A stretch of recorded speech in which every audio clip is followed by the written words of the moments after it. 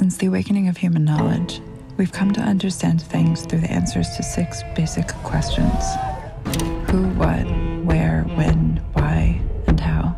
These questions, if pursued with dedication and competence, promise to lead to the truth. So I had a friend who committed suicide. But when my own friend took her life, so much of what I thought to be true no longer made sense. I knew that if she had been given a second chance, she wouldn't have done it. That it was an accident in some ways.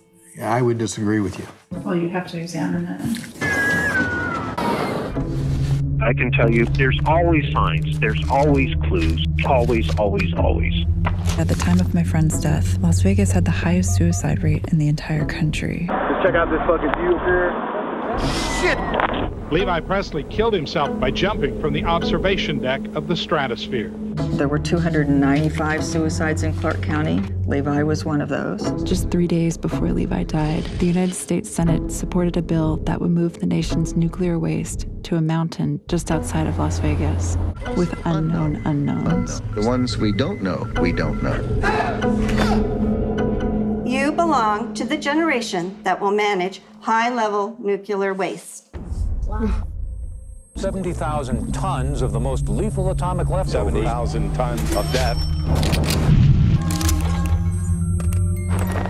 I love America. If the truth came up, they'd all be screwed.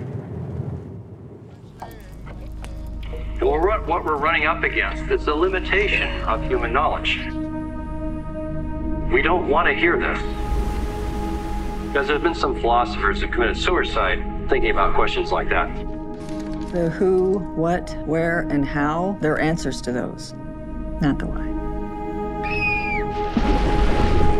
Let me ask you this. What will you do if you do find out?